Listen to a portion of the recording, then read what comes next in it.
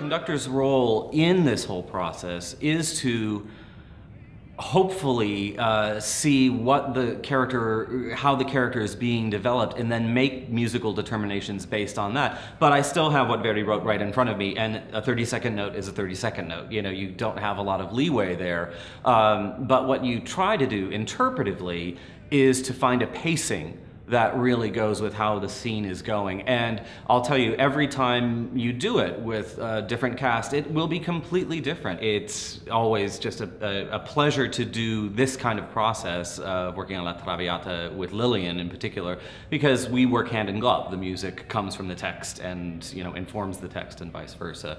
Um, and uh, I got to know this piece for the first time when I was in college, and uh, I, I really always just loved it from the first moment that I heard it, and, and now this is a third or fourth production that uh, I've been associated with on it, and it, it gets better every single time. It's always challenging to put together the orchestra with the stage, right? You know, it's it's it's one of the the, the things that we have to do as opera conductors, um, and we sort of act as the fulcrum between the pit and the stage.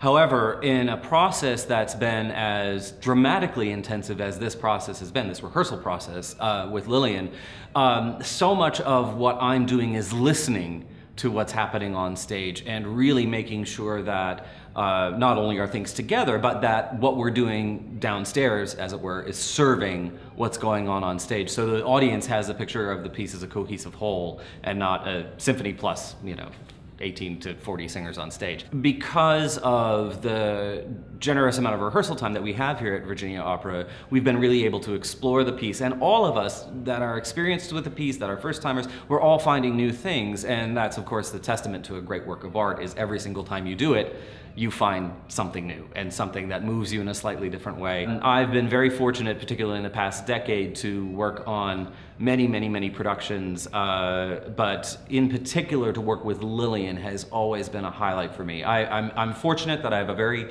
sort of small-ish group of directors that I get to work with fairly regularly, and whenever I get to partner with Lillian, I just know that it's going to be a very intense process, but one that is incredibly rewarding. Uh, a few years ago, we did Madama Butterfly in Boston for Boston Lyric Opera, and again, a piece that is done all the time could be very pat and just, you know, butterfly enters with the fan and the umbrella or whatever.